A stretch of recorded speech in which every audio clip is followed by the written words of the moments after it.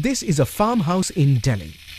Here, both grey and black water are treated, applying an improved septic tank.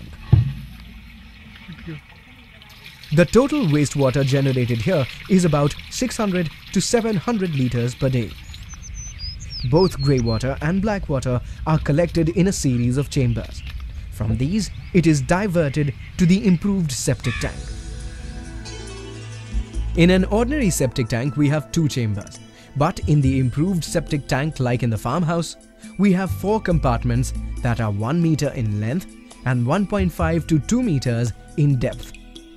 The incoming fresh sewage settles in the first chamber and the overflow moves to the next one through the 3-inch pipe at the top.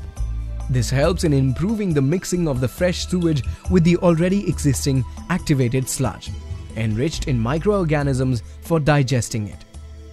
To enhance the function of the microorganisms, a biocatalyst is added to the reactor. Anaerobic filters are added in the third chamber of the reactor. These act as a breeding ground for the microbes and result in the effective treatment of incoming wastewater. Most of the treatment so far is anaerobic, therefore the fluid generated is still smelly.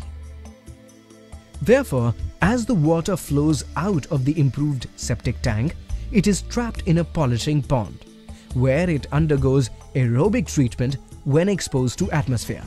Here, the treated water is exposed to sunlight and this helps in reducing the pathogen count.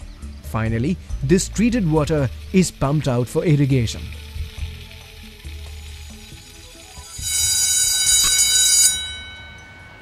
In Delhi's Shriram School, 3000 to 4000 litres of wastewater from the canteen is recycled for irrigation. The raw water from the canteen contains a high amount of oil and grease. This is arrested in the grease trap.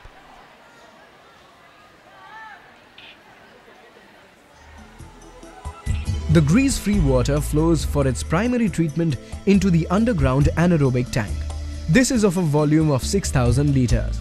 It has three compartments which cause 48 hours of retention time for the anaerobic treatment to take place. Here the wastewater undergoes a considerable reduction in BOD. Settlement happens in the first compartment, then it flows to the second chamber, which has anaerobic filtering material. The filtered water flows to the last collection chamber where it is collected. From here the water is pumped to the root zone treatment tank where it undergoes secondary treatment as it flows horizontally in the gravel filter. The treated grey water is fed in the distribution chamber. The water flows below the surface of the filtering material through three PVC pipes of 3 inch diameter.